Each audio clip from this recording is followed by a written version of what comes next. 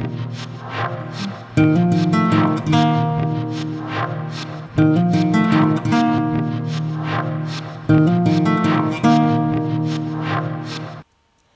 Merhaba sevgili aslanlar. Bugün 22 Ekim Salı, Mars günündeyiz. Bugün e, iş ortamınızda ya da aile içerisinde e, sahip olduğunuz bazı görevleri tamamlayarak rahat edebilirsiniz. E, görevlerinizi, işlerinizi bir an önce tamamlamaya çalışın. Daha sonra boş zamanınızı istediğiniz gibi değerlendirme fırsatı bulabileceksiniz.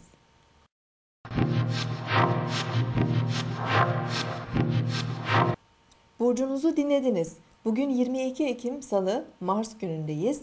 Bugün Ay İkizler Burcu'nda ilerliyor ve güne hareketli, değişken ve biraz da huzursuz enerjiler veriyor.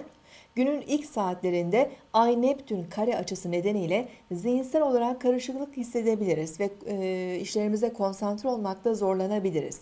Birçok düşünce ve fikir zihnimizi meşgul edebilir.